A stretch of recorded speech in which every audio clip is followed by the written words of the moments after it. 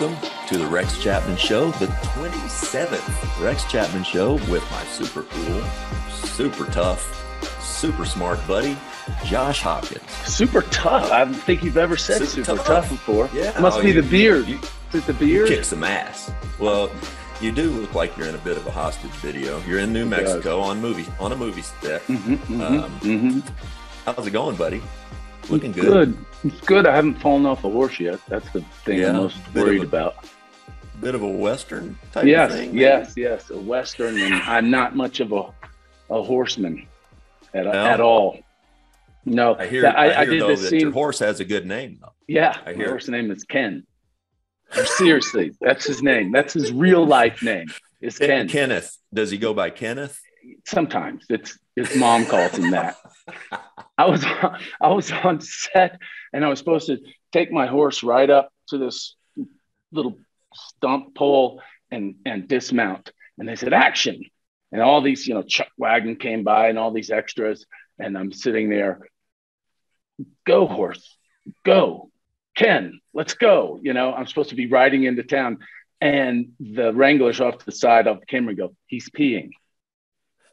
So I look, and Ken is peeing, and he pees for two minutes. Yeah, yeah, Yeah. I think they, they call it peeing like a racehorse. Yeah, Yeah. There's a reason. Finally, he went, and I pulled up, you know, the this little stump, and got off, and and the uh, DP was like, "Hey, can next time can you have him come like right here?" I was like, "No, I'm going where Ken takes me." I'm not riding have Ken. much say in the- carrying me. Okay, and so, so I think we just kept the first one and moved on. Oh, that's great. That's great. Uh, well, it's good to see you, buddy. Um, you know, It's we got uh, we got a good show today. Uh, episode twenty seven. Mm. Who are the great twenty sevens of all time? Mm, um, well, I watched uh, Monday night or Monday Night Football, and Eddie Eddie George is a hell of a 27. Eddie George. Uh-huh. Mhm. Yep. Uh, our guy, uh, B More, Jamal Murray, oh yes, yes. Yeah. Can't forget and the cat. that- and the big Frenchman out in Utah, they call him Rudy Gobert. Rudy Gobert. yeah, big yeah. long yeah uh, Mhm. you know some people say it different but it's Mike Gobert. Trout. it's definitely Gobert It's Mike Trout. I think he's a- wow big yeah. you know they didn't they didn't rock 27 much when we were young did they Well, 27 to me still is uh, you know uh, CBS in in Lexington, Channel 27.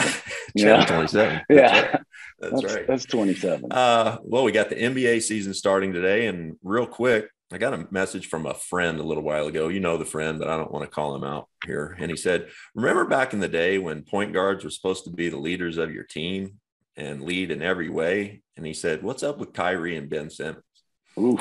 So I think that's, I don't know, it's a little harsh, but weird times we're living in. I sure hope we get to see those guys play basketball this year. I know. It seems like Ben Simmons wonderful. had his feelings hurt, and I- so I know. he's, And, he's upset. You know, it ha- shit like that happens when you're a young player. It really, it really can. Sure. and, and because when you think about this, and really it's for both of these guys right now, Kyrie and Ben, you know, the Nets came out and said they weren't going to, you know, negotiate an extension right now.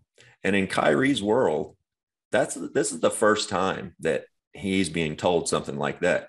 Ben Simmons, number one pick, both of them, the first time in his life, you know, not college, not high school, the first time in, in his life that a team is maybe saying, yeah, we don't want you. Maybe we want somebody else. It's really hard to go through. I'm just, I'm just pulling for these guys to, to pull through and, and, uh, you know, persevere and get back to playing basketball. Cause man, I love watching them play. yeah, me um, too. Right. Right. uh, Kyrie just seems kind of like a contrarian and wants to be different. Like uh, he almost seems like he's trying to get a little attention. I don't know. He, ben Simmons seems like his feelings are hurt, and Kyrie seems like he, I don't know. It's kind of annoying to me. yeah, hey, you know, I know he's he's magic on that basketball court, and they got a they got a real chance. Who do you think comes out of the East and West this year, Josh? I mean, what we all, well, not you hope, but I, I just love to see Brooklyn and the Lakers. I mean, it would just be a dream matchup if no one's if they're all healthy and they play yeah. in the final. That would be. I would. I'll t- I'll take that as long as the Lakers beat the Suns in the finals of the West. But okay. really, I'm not going to take it. Um, Suns, Brooklyn finals. Hmm. Suns, uh, you're going. Are you going heart or head with that? Uh, both. Okay. A little bit okay. Okay. Okay. Uh, okay. Okay. Well, you know what, Josh? Let's jump right into episode 27 with Frank Caliendo. Hold on. Did you read anything while we were off? We had a long time uh, off. Did you? you know what? anything that you read? No, I caught up, I, but I did catch up a lot on sleep. I didn't read. Oh, anything. that's yeah. great. Did you? you? Did you? Uh, well, have you ever heard of the author Tom McPhillips? Yes. I uh, didn't read anything. Of, I didn't read anything this time, so that's been book club. Okay. Sure has. All right. Well, that's uh, fine. Let's get into Frank Kelly. Hang on. We're going to talk to Frank Caliendo today, but I think, uh, well, hang on. It looks like we got Bill Walton. Let's go straight to Bill Walton.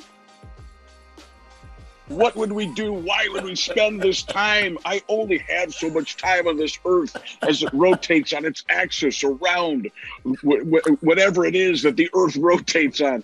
Think about it for a second. As we orbit the sun, the greatest solar adventure of all time, the planet Earth, the third rock from the sun, not only a way to say what the earth is, but a fantastic sitcom back in the day. How great it is. Say hello and let me run with it for all time. Rex Chat A 97 inch vertical at the University of Kentucky.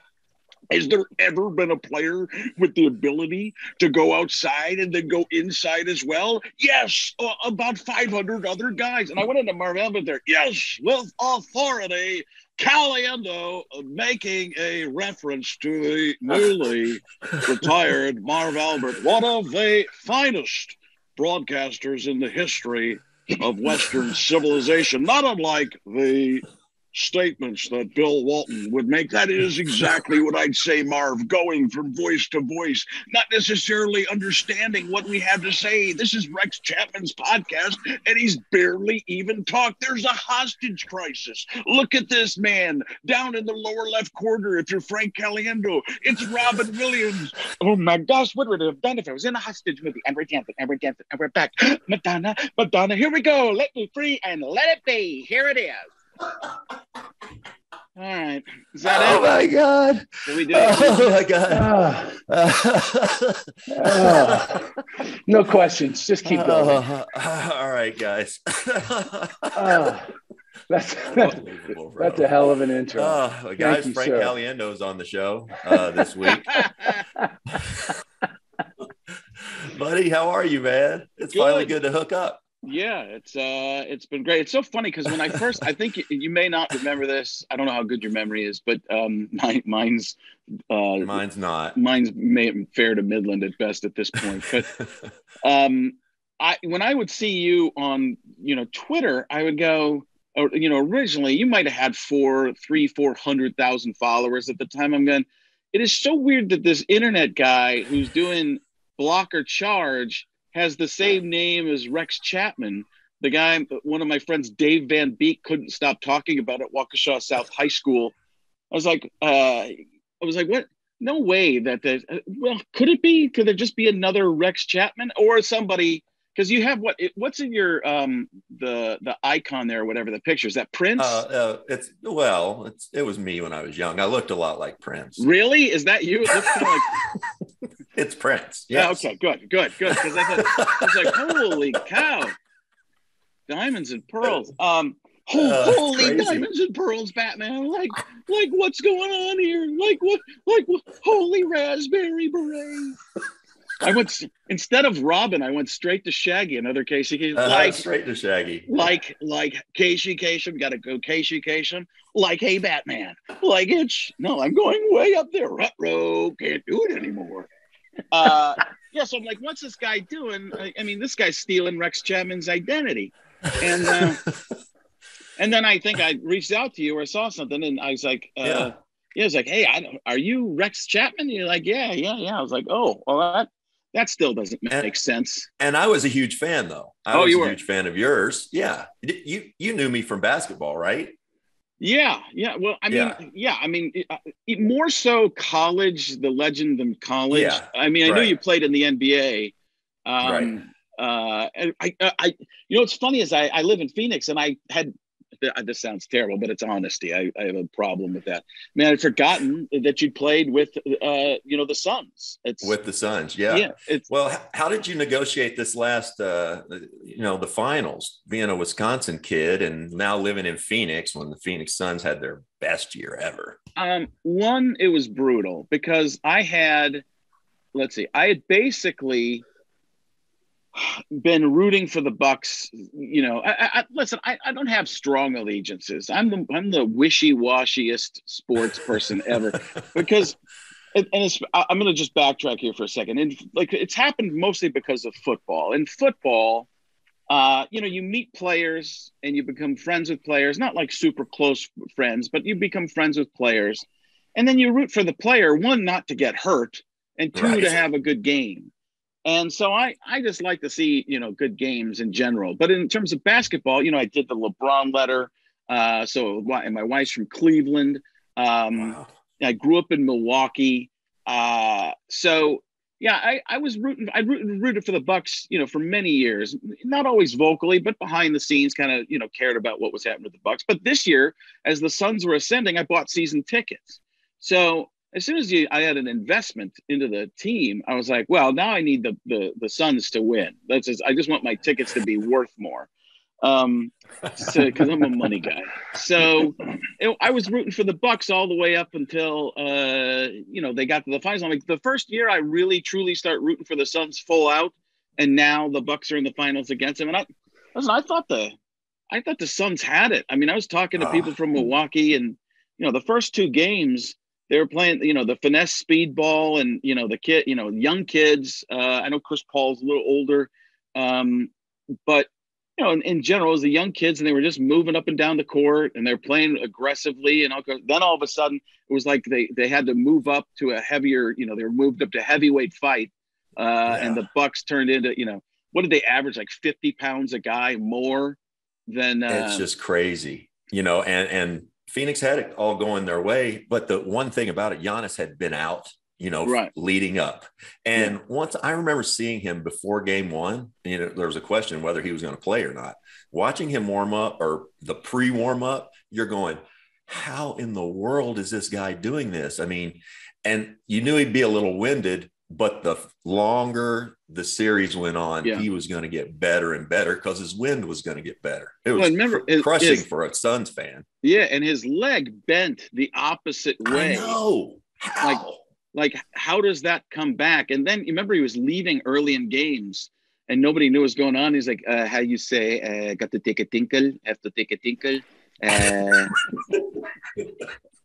so yeah, I, I was, uh, you know, there was that, and then uh, who, who's the, um, I, again, I, I, am this is the, the one of my uh, problems. I never remember names. That's all right. But who's the With big the guy? No, on the Bucks, big guy, um, Stanford. Brook Lopez. Brook Lopez. Brook Lopez. I always think yeah. Robin Lopez, and Robin played there right. a little bit. But Brook Lopez started using the big body. And when the once yeah. those guys started, it was like men playing against, uh, you know, almost not. I don't want to say high schoolers, but it felt almost like men playing college kids. Yeah, it's, it's and you, and you forget you forget with Brook, great point. If you forget with Brook, he was drafted as a top five center when centers played with their back to the basket. Yeah. I mean, he's he's become this, he's essentially a two guard now. But when yeah. they needed him to go down and get dirty in the post last year, he was he was able to do yeah, that. And I mean he hits the shots from the outside. And uh, you know, like you said, as a two, he's yeah, they just that, that, it all came together for the Bucks, and yeah. you know, for me, it was like a no lose situation. I you know I could have looked at it as a no win yeah. situation, but it was like you know what, Milwaukee needs something like that. It feels good for Milwaukee to get that, and uh, you know, you know, so yeah. much family back there and friends that were all excited about it, and you know, they have winter. the NBA is back, and at DraftKings Sportsbook, an authorized sports betting partner of the NBA, the key to victory is a strong starting five. New customers can bet just $5 on any NBA team to win their game. And if they do, you win $200 in free bets. DraftKings Sportsbook customers can also get skin in the game with new same game parlays. Combine multiple bets from the same game for a bigger payout. The more legs you add, the more money you can win. DraftKings is safe, secure, and reliable. Best of all, you can deposit and withdraw your cash whenever you want. Download the DraftKings Sportsbook app now. Use promo code Chapman. Bet just $5 on any NBA team to win their game and win $200 in free bets. If they win, you win with promo code Chapman. This week at DraftKings Sportsbook, an authorized sports betting partner of the NBA. Must be 21 or older in New Jersey, Indiana, or Pennsylvania only. New customers only. Minimum $5 deposit and $1 wager required. One per customer. Restrictions apply. See DraftKings.com slash sportsbook for details. Gambling problem? Call 1-800-GAMBLER. You grew up playing sports, Frank? Yeah, I, I I was, uh, you know, I grew up in Waukesha, Wisconsin. So, um, how big? How big is that? Uh, well, it's a suburb of Milwaukee, 13 miles west of Milwaukee. So, okay. Waukesha, right. Waukesha County's J.J. Watt. I'm trying to think of anybody who's come out of there. Um, Waukesha, John Anderson, who played for the Packers, uh, Les Paul, guitar. Okay, um, yeah there's you know i'm in i'm in like the top 20 of people probably to come out of Waukesha so that's it's it doesn't have that great of uh, a history um I, I, know i'm missing some people people will be like you know who else came from there uh, blah blah blah uh, people will be like kelly i don't think he's in the top 20 he doesn't he doesn't make it in the top 100 um but uh yeah so i grew up my dad was a minor league baseball player um before I was born. He played for the Sarasota Sun Sox in the White Sox organization. Oh wow! Uh, he went to he was from Elmwood Park, Illinois, suburb of Chicago. Um, went to Triton Junior College where Kirby Puckett went to school, um, or to to, to um, you know JUCO, and then uh, Eastern Illinois. Um, home of Tony Romo. Oh, Jim, here we go. Eastern Illinois. Um, and uh, then went out and played a couple of you know seasons. Uh, went to rookie ball and I think maybe something else. But he went to play played like three years. That couldn't hit. He was a middle infielder. You know, little Italian guy who never knew how. You know, he, he self taught how to play baseball. Um, you know, uh, that's amazing. Yeah, kind of like an Archibald Moonlight Graham type without the magic of stepping on the diamond and saving a child. Um, Listen, I got all the field of dreams, Rafa. I'm gonna go. I'm gonna go nat the natural here uh, in a few seconds. Uh, so, um, so yeah, he, we grew up playing baseball, football, basketball. Even though you know Wisconsin, you think hockey too, I guess, but we didn't. We weren't into hockey. Um, I played football a little bit till about eighth, ninth grade. I, my knee tore in half. I was a running back, believe it or not, and uh, I uh, yeah, I went running to the a sweep uh, to the outside, and we were scrimmaging the sophomores, and I got hit high and low at the same time and tore my ACL. Uh, I never got it fixed either, and uh, apparently I never needed it. Um, uh, but I played you baseball. Didn't? Uh, no, I mean, I, I mean, what was I going to do? I mean, I, I, was, I was playing. I love baseball, and I was a zero tool player, so it was that kind of a thing. they looked for five tools. I had none of them. Um, so and and uh, basketball, I'm five six and no leaping ability whatsoever. So and, you know, set shot Buford, fish that uh, fish that saved Pittsburgh. We got that in there. Am I making all the references? Metal yes, Lark, you are. my favorite. Oh, did you love that? My it's movie. the fish. Yes, I did. Fish that saved Pittsburgh. Pittsburgh. Oh, oh, uh, yeah, I got. I, uh, listen, I got great references. If you're uh, somewhere between 90 and 150 years old, but that had great people. That had Dr. J. That had Meadowlark Lemon, um, and it was just and, one of those. Uh, what what's her name? I'm gonna, gonna get it wrong. Rizzo from Grease.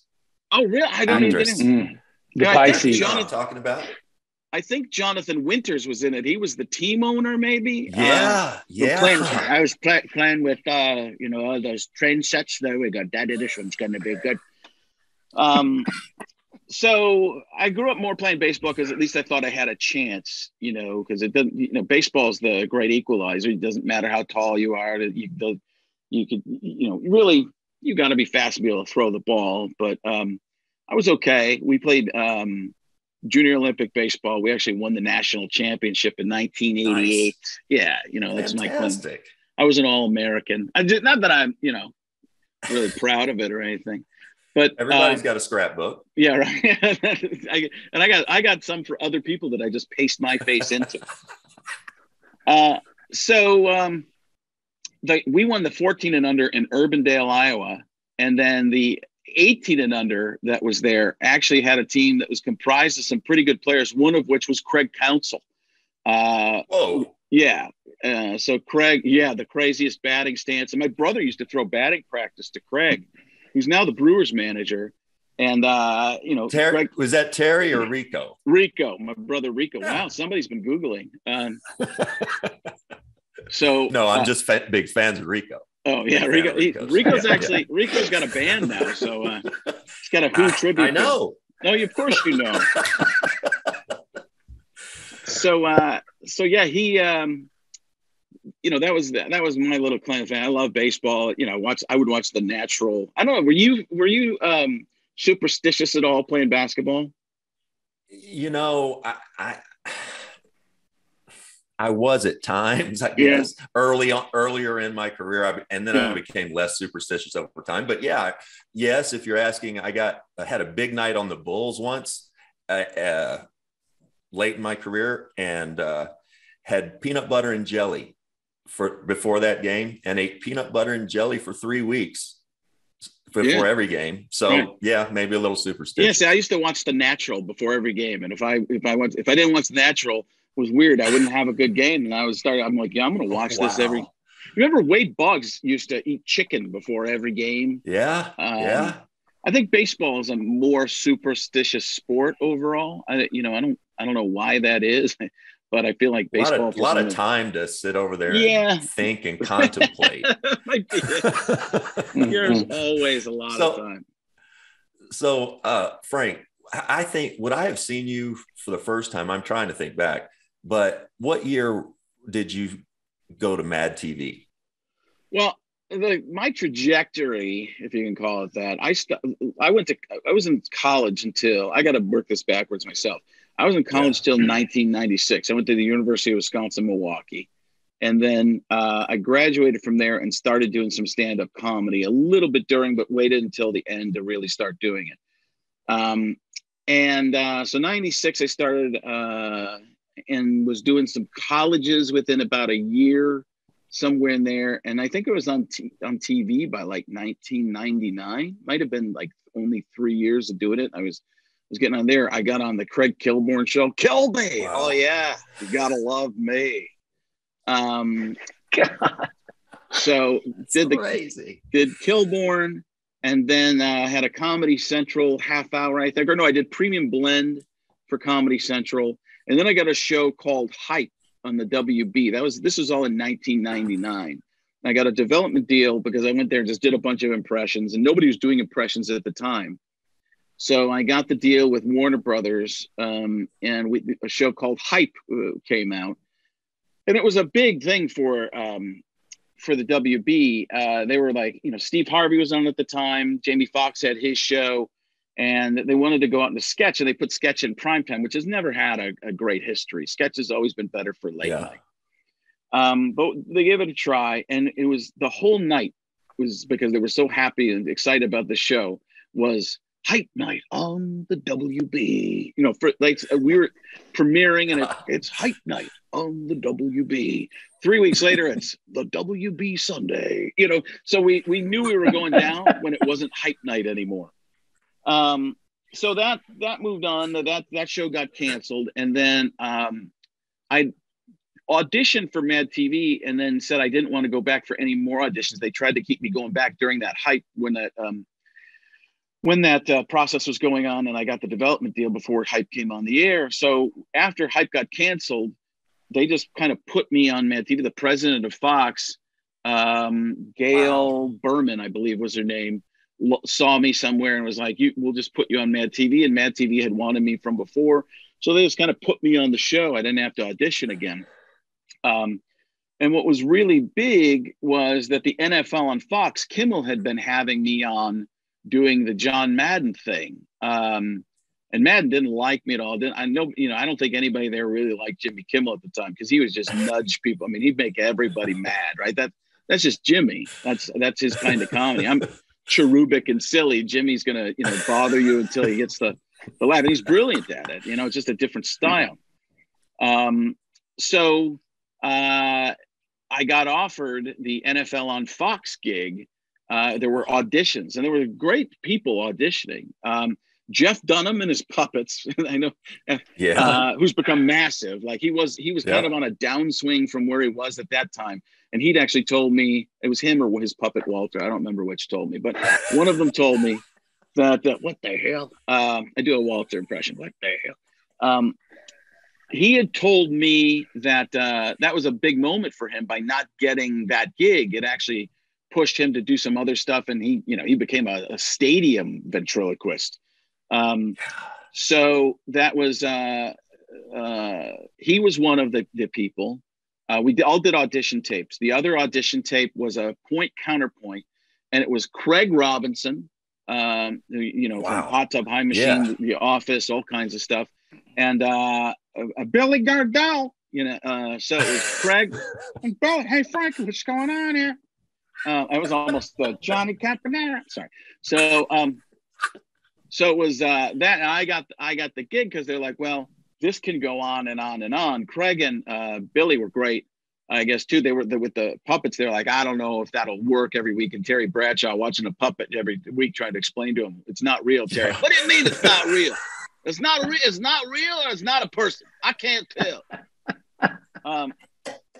So, so yeah, the NFL and Fox stuff start. You know, that was a tough thing because when you're in sports and comedy, and this this was just I I kind of fell into sports and comedy because that's how I grew up. I always tell people, uh, you know, if they want to get into entertainment in any way, shape, or form, take the classes in in school, take the you know some uh, theater arts, that type of stuff.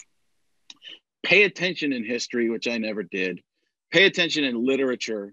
Learn about history and writing and all sorts of stuff like that.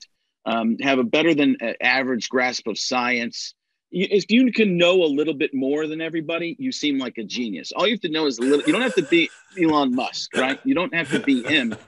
You just have to know a little bit more than everybody. Like, oh my gosh, this, this guy, this person knows everything. Um, so Genius. yeah, they think they. So uh, I wish I'd paid more attention to that stuff, but I just sports was my thing. You know, I was a catcher in baseball, so I would talk to the you know the batters and the ump, and I'd make them laugh and try and throw them off that way and just be silly uh, and goofy. Um, and uh, that was what I knew. So I knew sports a little bit. I didn't, you know, I didn't have a, you know, people think I have this incredible inside knowledge of, you know, sports and.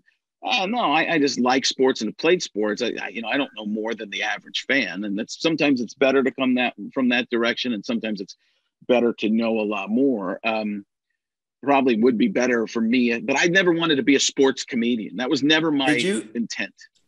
Do I recall it right that you got a little pushback once when you got on the on the NFL show? Um, as far as Just uh, were you welcomed? Uh, Oh, no, no, no, because no. you weren't a football guy, you know, per se. no, they Eh, hated. or- They had. They had. They, they did. You know, there was a dislike. I thought I remembered that a little bit. Oh yeah, Yeah. yeah, And then you know you're making fun of the thing about you know I think a lot of professional sports and especially football is if you're not from the club, it's it's weird to be making fun of guys in the club. You know, Yeah, that's yeah. that's the difficult thing. So you you know th- I'm, I'm this goofy comedian guy coming on doing silly voices. Uh, and and they're kind of like, what what do, what are you doing here after four, three or four years of Kimmel just pushing them, you know, pushing all their buttons and driving them crazy um, I thought the first three, four weeks I was going to be fired. I, you know, the first one Wow. fell real kind. The first one was actually pretty good, but they didn't know how to react because nobody made fun of them. Uh, I did a Yeah. bunch of auditions. It was like De Niro and um, I don't even remember who all of them were, but you know, there were some staple impressions. And um, uh, Robin Williams, was still alive at the time, and maybe an Adam Sandler. I'm not sure, but but they, it went. It actually was pretty good, but I didn't make fun of the guys at all, so thus they didn't have anything to come back with, and that's what we Got look- it. you know we found is you had to make fun of each guy basically once. If you went to the well too much, it started to feel like uh, I don't know about this. So um, so the third or fourth week, I did a uh, I think it was a I'm trying to think of the, the exact order, but I, there were two that made a turnaround, and it was I did Jimmy Johnson on his boat, and it was an okay impression, but it was a good sketch, like you know, you know, I'm just throwing little lines in there. Like, There's my stripper pole, you know, and stuff like this. you know, he's talking about all this stuff on his boat. How about them towel boys and and everything. Uh, and the other one was a Jim Rome impression, which was only for a few people, but the few people who got it thought it was the greatest thing that had ever happened. How great is that? Incredible, phenomenal, arugula. So we had a guy who looked like, you know, Al Davis was still alive at the time, and we had a guy that was like a hundred years old playing Al Davis, and he just kept falling asleep during the interview. And it was actually I I called Kimmel and said, "Man, this gig is hard." He's like, "Here's what you do: you gotta got you gotta do something. Uh, you you know, you get an old guy to play Al Davis, and to, and and then that got us kind of on the roll and and started going. So That's great. um, yeah. When did you know you had this this talent ability? Like, did you make fun of teachers in school? Could you do voices then? When did you know? Yeah, there was a guy, you know, there were teachers. Uh, Mr. Christensen, the basketball coach, coach uh, he taught um, U.S. history and geography. And he would go, Mr. Caliendo, can you uh, come up to the map and show us where uh, Nebraska is? And I go up and point to blue. He goes, sit down, Mr. Caliendo. That's enough.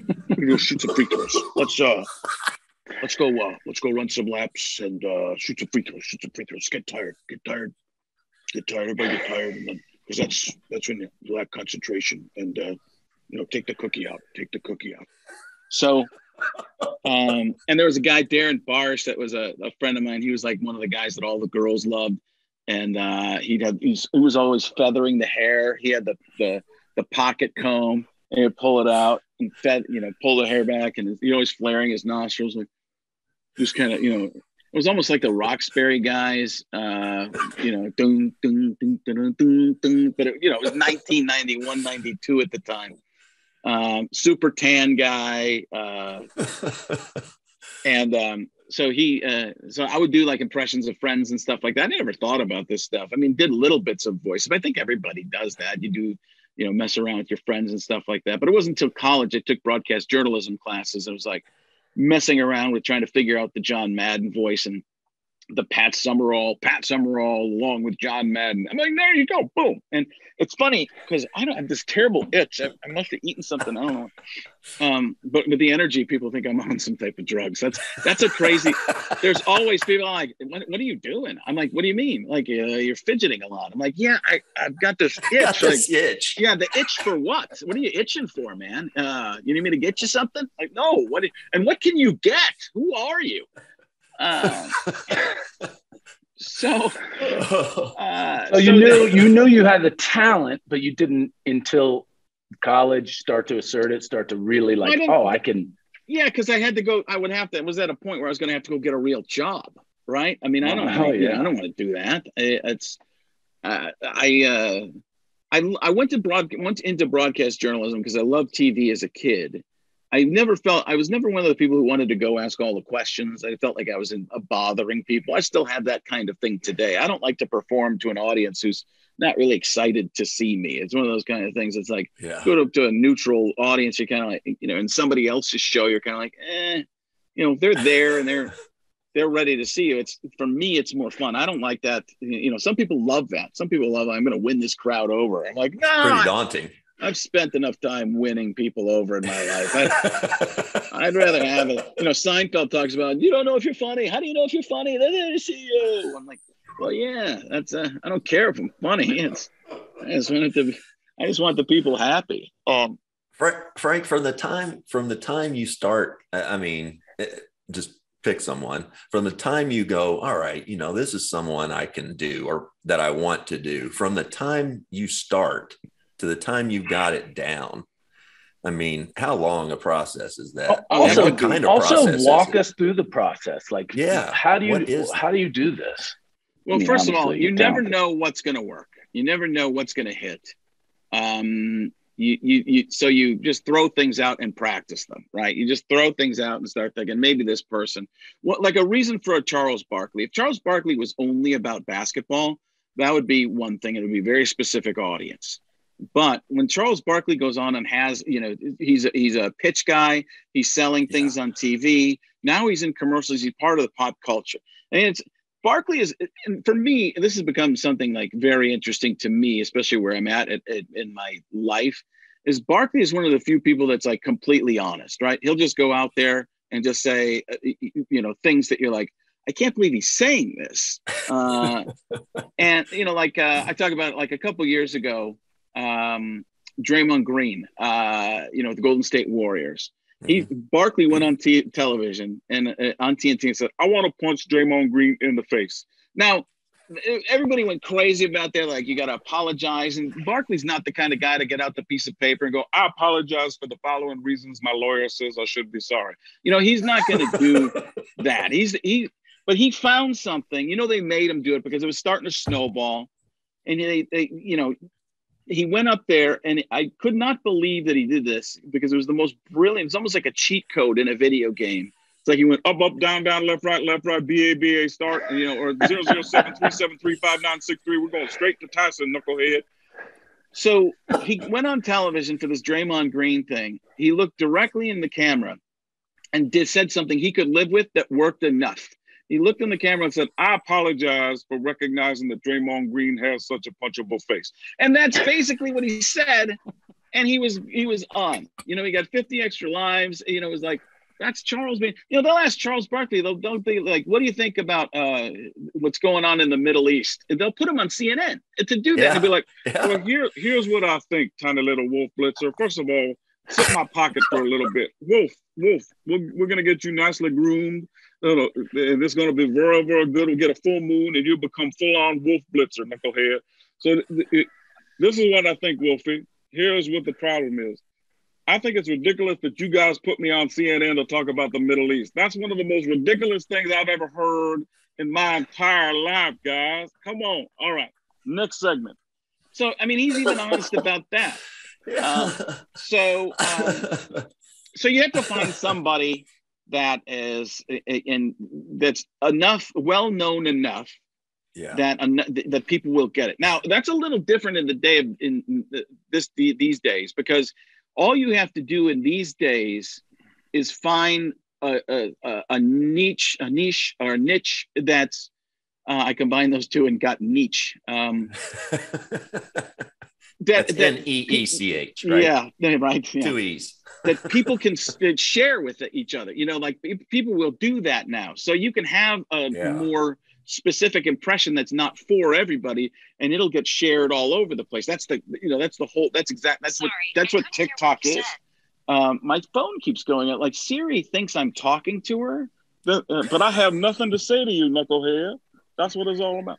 Um, so um, in terms of, I'm trying to think here. So in terms of like the um, the impressions that you go and look for, uh, you have to find somebody that you think could catch on with something. Otherwise, it's just a waste. I have a friend yeah. who does, uh, uh, you know, some very offbeat. A couple people I know that do very offbeat impressions, um, and uh, I'm like, that's just a waste of time. Like a presidential candidate, to me, a presidential candidate that doesn't win this, these things take a lot of time. If you don't have it like that, yeah. it's it's it's like Jon Lovitz working on Michael Dukakis. Now what?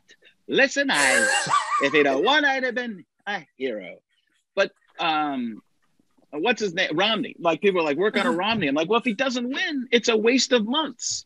You know, yeah. it's uh, yeah, months. You know, is it is it a month months long process? For oh, it to- could be years. If you listen to my first John Madden, sounds like, hey, here's a guy. Uh, or my George W. Bush back. Those are the two or two of them that you know made people know who I was. Um, a lot of those impressions, they they start, but nobody's doing them. Once people start to like, how many Donald Trumps have you heard now? Yeah, and they yeah. and it's it's like, well, there's some. Oh, how many Christopher Walkens? They could be high, it could be low, could be in the middle. Just make sure you get the speech pattern right. accentuate the wrong syllables. Whisper now. Um, so you find those different impressions. Um, now you have to have the take. And you can come from two different ways. You can come from pure hate, you find an emotion and attach it. You can come from hate. I'll use Alec Baldwin as an example. Alec Baldwin's Donald Trump came from just his pure hatred of Donald Trump, right? And right. wherever somebody's political, where's in the political spectrum, that's not I'm talking about here for the audience. So it's like, I, right. But you can feel that coming through. You can feel the disdain. Yeah. I actually get ripped for my my my Trump being a little too nice, and I'm like, but yes, I'm not enough people. He does enough things that people say stuff, and Right. it's all out there. I, you don't need me to be part Yeah. of that. But the my, what I would do with Donald Trump, or what I've done with Donald Trump, is I, I I go, I'm amazed that the fact that he can say something, somebody can say, "You just said that," and say, "I never said it. I never said it once." Like we just played it back. You're actually saying it. You said it. 30 seconds. I never said that. Maybe it was somebody else saying it. Do you think it was somebody else, quite frankly? And, you know, I've got him down to just three words probably, quite frankly, quite frankly, probably, probably, quite frankly, quite frankly, probably, probably, quite frankly, quite frankly, probably, quite frankly, probably, probably, quite frankly. It's like Groot in Guardians of the Galaxy. I am Groot. What are you going to do about it? Probably, quite frankly. So um, that's the take. When you find the take on, on the person, what's what's the thing that makes them, you know, interesting? What's the what's the what's the? And I always try to go from lighthearted and fun. What's even if I don't like the person, I find something that I like about them. Jeff Goldblum can meander through anything. Uh, you ask him a question, oh, why, uh, uh, yes or no, maybe. Uh, I'm not really sure. Why, why, why is my favorite letter. But before uh, it's a part time vowel, it is yes. Why uh, can be a, a, a vowel or a consonant, a consonant, or a vowel, a vowel. Which is it? It decides depending on the situation. Vowels, consonants will uh, find a way to survive. They will, uh, yes. You know, so it's what's the what's the take on the person? What's you know, there's lots of voices I can do that don't have a take. Uh, and um, so let's go to the process. The process is basically you find a word or a sound, and you start with that sound. Like Jeff Goldblum, you can just start with uh, uh, uh and just go why, why, why, why, ooh, ooh, why, ooh, yes, yes, okay, uh, and now, and now, now so you, you you you find the you can find the pitch in there, but it doesn't have to be perfect because of the stuff I said about walking before. So let's go. Um, let's take a. There's a bass voice that I don't know why it works for so many, but it it really does. You can find tons of voices just going back to Kermit the Frog, and I've I've, I've been doing this, you know, probably 20 years of this reference, and it's for it's been for different people throughout time. But Kermit the Frog, hey ho, Kermit the Frog here, which is Jim Henson is here, right? Jim Henson and Kermit the Frog, a you know, so you you Yeah. do this, you know, Ernie, Bert, oh Bert, Ernie, and Frank Oz is another one. If you add, you know, if you have uh, Ernie and Bert, you know, and you combine them two, you get Patrick Mahomes. Okay, that sounds pretty good. So there's an interesting thing there. But Kermit the Frog, hi ho, Kermit the Frog here. And then if you bring it down a little bit, becomes John C. Reilly. Did you touch my drum set? Did you touch my drum set? then if you add some air, if you add some air and some like some genius to it, it becomes Mark Ruffalo. Jeez, Tony, I, I see this as an absolute win. I, I didn't even know. It's a lot of aw shucks. Oh, geez, Tony. Then you can actually um, turn it into Joe Rogan. Wow, Jamie, pull that up, Jamie. Oh my God, that's crazy. Oh. So all those voices. Then you, if you add more, you know, add more Frank Oz. Oh, it becomes Ray Romano. No, no, you know, all those, and they're all so similar. Dude, Um, it's amazing. Those It's are all like can you swallowing sing? the voice, right? Yeah. Are you musical? You've got this ear. You have to. I, I got your- some- but your I- voice. yeah, Can't you just- sing? I could, Can you I could. I never worked Yeah. on it. I never really worked on it. Um, Okay. because the thing about singing impressions, just impressions, um, you, all you could, I always thought you could, all you can really do is rhyme with them, right? You're not really doing jokes. You're rhyming things, and that never interested me. And I was never really a Yeah. I was never really into music. I was more listening to, you know, how people said stuff. But I'm going to backtrack another one. So I did a thing, a TikTok thing where I was showing people how to do Morgan Freeman. So Morgan Freeman, I think anybody can actually do a decent version of Morgan Freeman. It might not sound exactly like him, but you can get to the point where you can, you can do something that's passable. And you just have to start off really quiet because you have to think of it like building a muscle. So if I if you want to start with Morgan Freeman, you pick a phrase, and the phrase for me was ah ah yes ah yes. This is my voice ah yes. Now you bring it down to the deepest voice you can do ah yes ah yes right ah yes. Now you, Wow. you start to find the pitch. You go ah yes. Ah, well, there it is. Ah, no, this is this is six months worth of practice. Ah. Wow. And then you go up and down, almost lyric, you know, like melodically. It's, ah, yes. Ah, yes. Truth of the matter is, that's what it seems to be.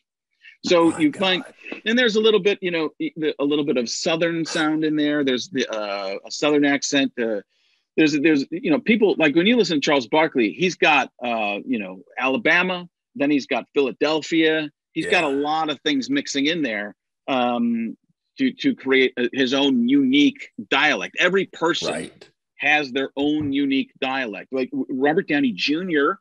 does this thing where he seems to be burping halfway through every sentence. Okay, so I'm going to accentuate exactly what we're saying. Do me a favor, just enjoy me, because that's what you need to do. All right. Okay. Um, but here's here's another thing. Watch this. Here's another thing. So Robert Downey Jr. Okay, Robert Downey Jr. You bring it up and raise the pitch, and it's throw me a freaking bone here, please.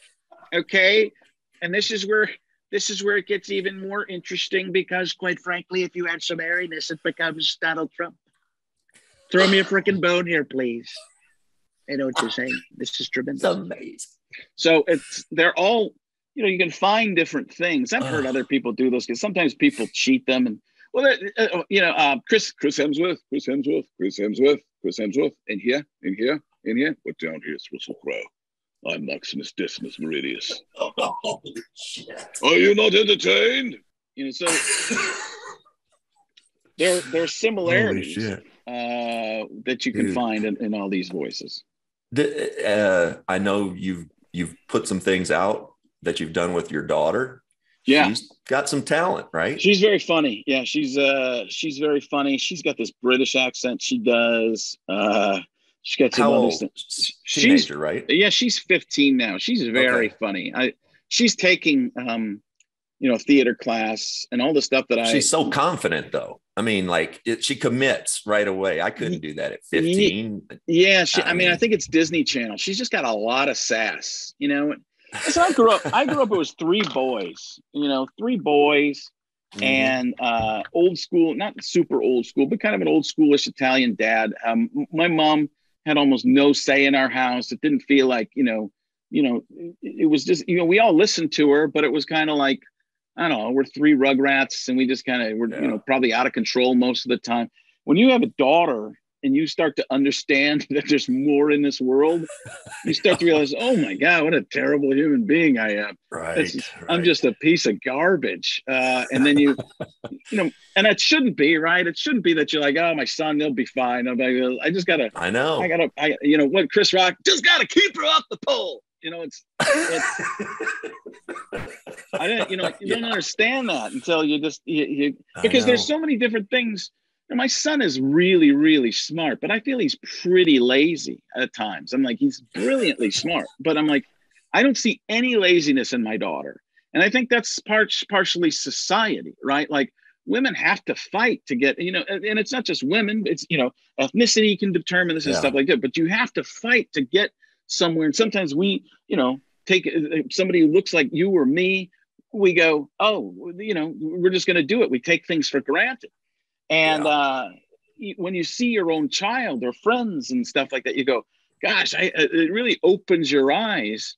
And you know, that's part of what's going on in culture too. Um, I mean, all around. And I think that's, I think that's a good thing. Uh, well, I know it's a good thing, but I, it's, but people don't understand. You- You don't look outside yourself very much. And when you Yeah. have kids, all of a sudden you have kids and you're like, oh my gosh, what, look at all the stuff I haven't been paying attention to my entire life and just made assumptions. And sometimes you're like, there's nothing I can do to fix this, but at least I can be a good person.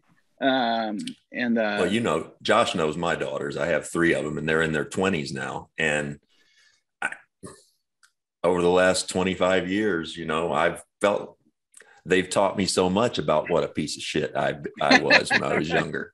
yeah, And you know, I just try to try to do better. But it is amazing, right? It's amazing. yeah. I mean, my daughter works so hard, and she's smart too. She's very smart. It's a different kind. She's more straight ahead smart, but she's very witty, and you know, she's got crazy comebacks and stuff like that. Where my son is more of an outside the box weird thinker.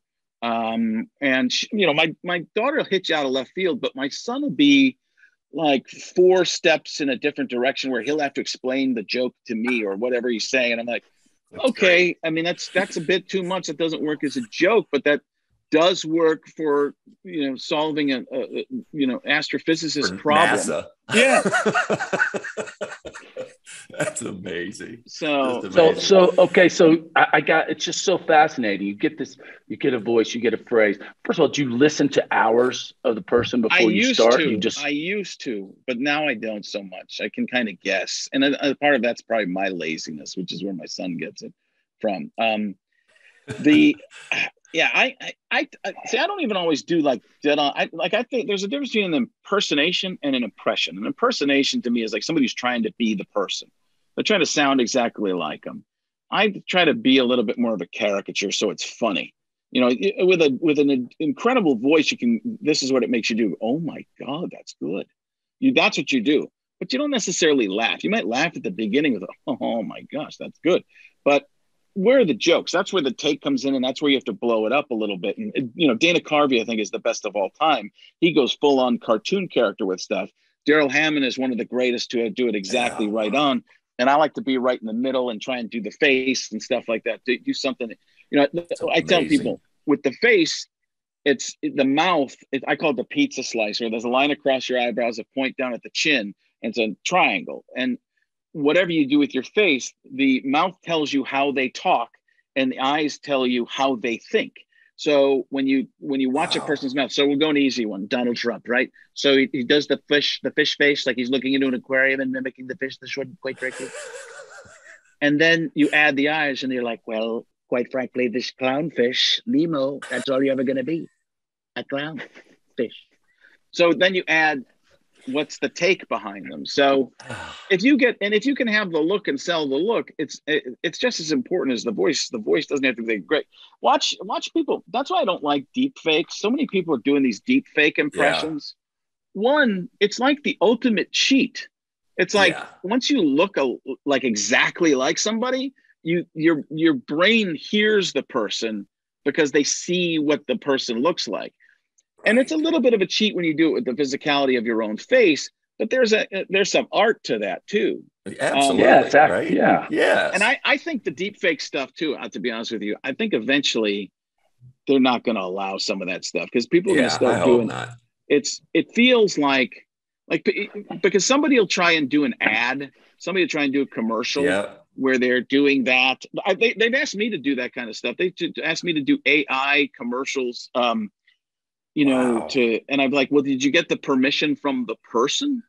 Because if you're if you're trying to there's a way you can do things. You can do parody. There's parody and there's you know if you do an impression say you're doing an impression you can you can do that. There's there's a way. Like you're not trying to say i am this person. You're not trying to hide. But as soon as you try to deceive and that's what you do with a deep fake you're selling the person's Yeah. whole you know you're selling their face and they Yeah. the, the internet isn't regulated that much. So they're trying to do that in like video games uh, not video games but in um in apps and stuff like that.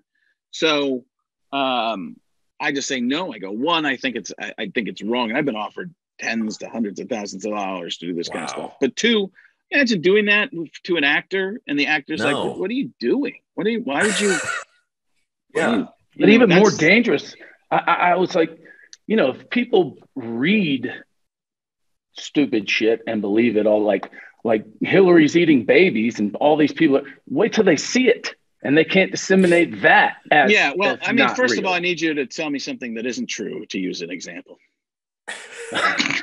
okay. quite frank look at look at you're both on that you're both like is he, Yeah. is he does he believe this oh my god oh my god we can't okay Caliendo's all Q. He's he's all in on Q. It. I don't even know what it was. I just I just know I heard that. Cali- Caliendo with a Q. yeah, Yeah. yeah. Like, I, I just remember it's Tom Hanks and uh was it Oprah? Yeah, don't yeah, yeah. Oh God. the looks on your face is like what? What? what? Wait, what? what? we just we just went down a real hole here. This is getting We're- real interesting. we almost went Alex Jones, guys. That's the problem. Oh Uh, God. they're turning the frogs gay. That's what's happening here. Holy Do you, do, I would eat my neighbors. I would eat. I would eat my neighbors. do you ever do work on impressions and then some of the mannerisms stick with you? Like become you you do it so well and so often that some things become familiar and you like enjoy it and you can't help but incorporate it. Yeah, it just happens. Or but my voice, people hear different voices in my own voice. Like I've heard people say you just sound like Robert Downey Jr. if I'm pausing a little bit like this. That, that's not full RDJ, but if it did, or Jack Nicholson, you know, if I get in here, it's Jack Nicholson. Yeah, you get a little glottal, it becomes a John Madden sound kind of thing. Pat Summerall, all you know, they all, depending on how I say something, people you know start to say, "Wow, you kind of sound like." But they also hear my voice in the impression. I I don't try to take my voice completely out of the impression. One, uh, uh, that's not my thing. I'm not the best at that. Um, and two, I like it to be a little piece of me. That that's that's the artwork of it to me. It's not. I'm not trying to do a photograph. I'm trying to make a painting. That's really what I'm trying to do. Did you watch Rich Little when Yeah, you were yeah, young? uh, yeah. It was mostly on the Muppet Show and the Love Boat. Okay. That's when I saw him. But Yeah, yeah, he was yeah. always guest starring on something like that. Now he was trying to do the person exactly, and there was very vaudevillian, old school style of doing it. I like, like I said, more the Dana Carvey, the the Yeah. you know the '80s Saturday Night Live approach, where you did cartoon it up a little bit and made it a little bit bigger. You know, Eddie Murphy's the same way. You know, with the impressions he would do. So stuff to make it more fun and and have that take on the person. What's the Yeah. take? Because if you just you know if you just have the voice, you're just going okay, you got the voice. That's great. You can do you can dub with it, but you can't use it anywhere. It can't it can't get used in a sketch so much because the sketch is over in the first thirty seconds because you're just like oh the the writing has to be unbelievable for you to do a dead on Yeah. impression. And maybe I'm just not that good of a writer.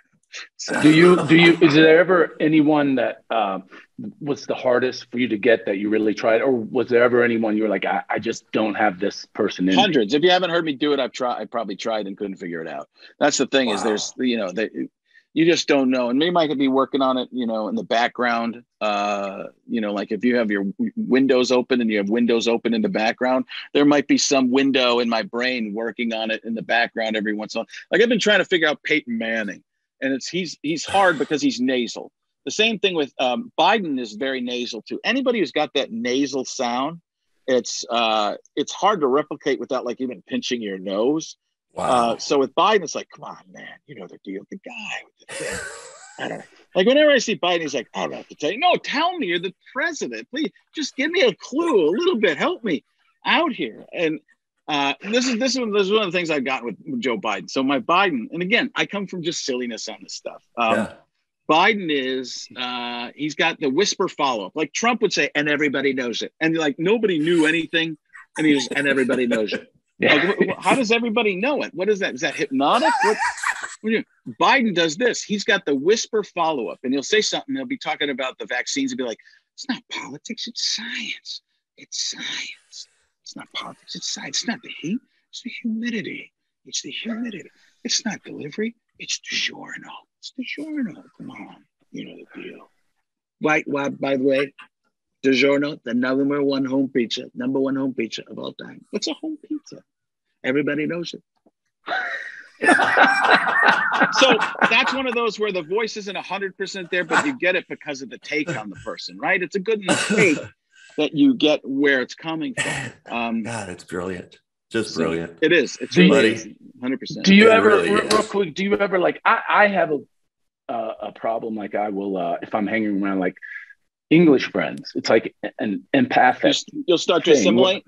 Well, Yeah. yeah. and I won't I won't sound the voice, but my phrasing will be like, uh, you know, I I got a mate named Frank who I Yeah. met at college at university. Yeah, I think that's um, something that um, happens to all of us.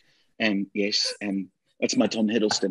I am Loki of Asgard. Uh, yeah, so yeah, I think we all do that because you start to, you know, for people you're around, you hear it more. We start to assimilate to because we all, in general, we all want to be liked, right? In some way, shape, or form. Even if you're a person who's a contrarian or something like that, you want to be liked by somebody. But um, Yeah. but we we do that. We we start to talk like if everybody talks a certain way, you don't want to stick out and not be part of the group. Um, right. Yeah. I tell my kids, I go, you're going to talk one way around your friends. You're going to talk another way around teachers. You're going to talk another way around parents and adults and those.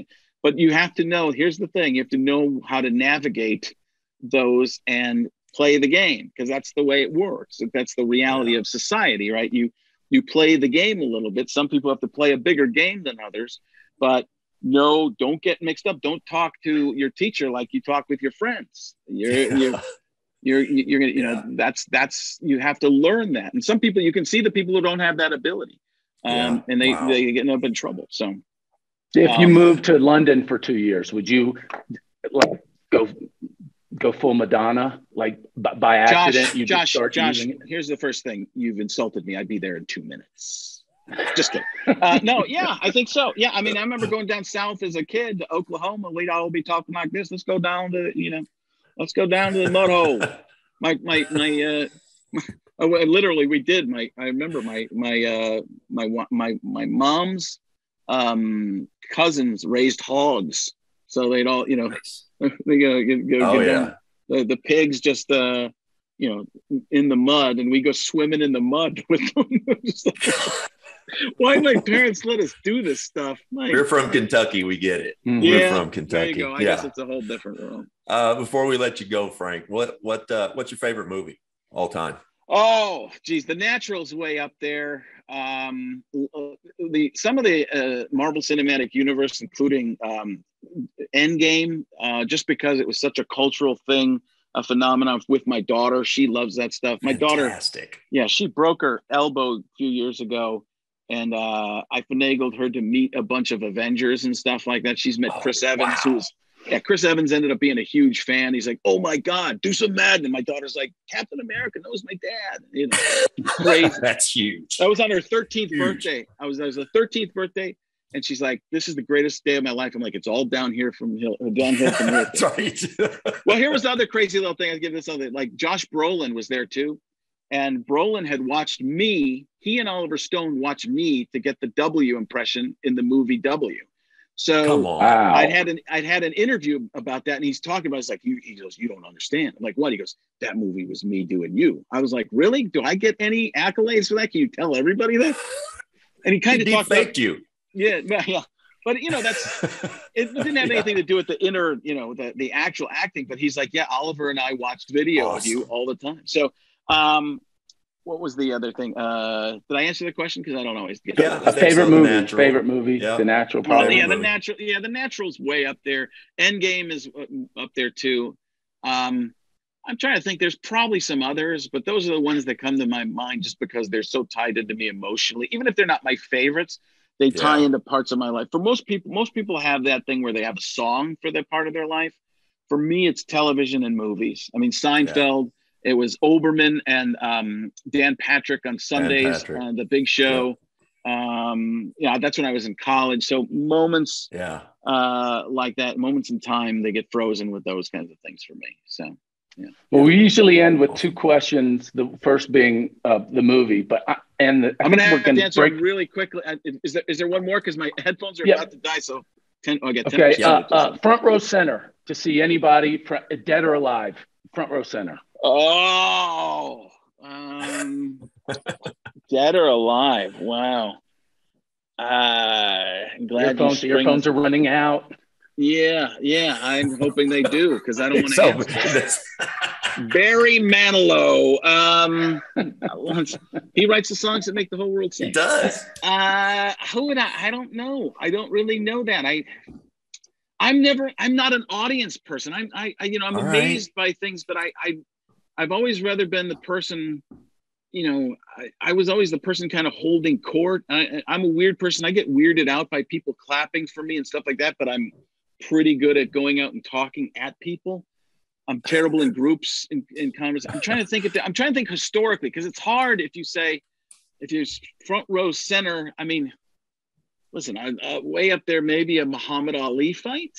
Um, yes. Way up there. Um, I, yes. I never saw Michael Jordan play live. Um, no way. Uh, yeah, I think that would be. Wow. I think that would be up there. If there was, I'm trying to think if there was something musically. Um, I, I really don't know because I, I, I, mean, I, I, yeah, those those are a couple things. I don't think that I, I couldn't tell you if those are my top because there might be something else historically, you know, even uh, right now it's it's uh, if if I could bring my daughter, it would be Harry Styles. That's because that's all she that's all she cares about. So yeah, usually hypothetical. You can bring her. Yeah, like I have already got her to. I'm, I'm, flying her somewhere at some point. I don't remember. No, he's actually coming to Phoenix. So, um, but she's trying to get there me to fly her to all these other places. I so, guess. I guess. Yeah. Buddy, thanks so much. Thanks for joining us. Uh, what's next for you? Anything you want to plug a little bit? Uh, yeah. I mean, do we come out right away? The podcast come out right away, or when is? Uh, the, yeah, next week. Or uh, blah, blah, blah, no, this week. This week. So uh, yeah. yeah. I mean, Irvine at the Improv in Irvine and Levity Live in Oxnard, California. Uh, the uh, 20 uh, the 29th and 30th of October. FrankOnStage.com uh, for those. So Oxnard on the 29th, or I'm sorry, Irvine Improv on the 29th, um, Oxnard Levity Live on uh, Saturday the 30th. And then I got some stuff out east, um, uh, Pennsylvania and Atlantic City, uh, Pitts, Pittsburgh, Terrific. Atlantic City, and Bethlehem, Pennsylvania. Those are, uh, I think, December. So frankonstage.com for those. And just did uh, some things for uh, Peyton and Eli um, oh, for the uh, for the for the uh, alternate broadcast. Did some stuff not on the show actually, but talking about it. So that stuff's going to start airing right That's now cool. too. So yeah, that's really cool, bud. Best of luck. Come back and see us again, will you? God, this Love was entertaining. To. Thank you. Yes. Yeah, maybe you guys get a chance to ask some questions next time. It's like Walton. Thanks. What is that? A bird? That's a pterodactyl flying through. Unbelievable. How great is this? I've been in a closet for 25 years. Oh, fantastic. Thanks, Thank you. Thanks, buddy. How awesome Holy. was that? I mean, I mean, come on, Josh. Uh, from the jump, I, I, from the I mean, get go, it was like, on oh fire. my God. Ah. And, and my stomach was hurting. There yeah. were times my stomach was hurting. Yes. What a talented dude. That is, that, it's so crazy the way it jumps back and forth. What a fast mind. I mean, uh, and to, yeah, I, I'm glad you asked because he had to have just been, uh, you know, the cut up in school making fun of I mean, all can, the teachers and all the, all his friends. Gosh, I mean, I mean, you, you, just the way his and he talked about his energy. That's why I bet he yeah. enjoys doing Robin Williams because yeah. he's got you know he can match that energy like most people can. But that was that was unbelievable. There were times I was just mesmerized, and I loved hearing the process. Just one little Me phrase, too. and he starts with that, and then he said months and years to get someone right. That's that's. I mean, he that's work, art. Man. That's a lot of work. Yeah, but I, I loved how he, you know, even he said, you know, I like to, you know, have a piece of myself in there because you know you feel like you're, and yes, of course you would, mm-hmm. right? Mm-hmm. And, and, the exact. It, it's amazing though that he can he can contort his face in a way that, that when when he's doing some people, he, just takes them on almost. It, right? it is. It's like he he must feel like he's looking out of their eyes, like he yeah. morphs and he's got to, you know, not thinking about, oh, I don't want to look like De Niro. He must feel like he's De Niro. You know what I mean? Yeah. Yeah. It's amazing. Unbelievable. Unbelievable. Well, Bud, uh, we got the NBA basketball season starting this week. Mm-hmm. Uh, happy happy NBA season. Hopefully, uh, Phoenix Suns will do well again. My Phoenix Suns. Um, got any thoughts on the on the season? Um, I just can't believe it's already coming around. Yeah, again, too. That's, well, we'll have plenty. We'll have plenty to catch up on next week. Recap the first week of the season and get back into basketball, buddy. That was fun. Yes, today. sir. That was great. Let's do it again next week on basketballnews.com. Please subscribe, rate, and review.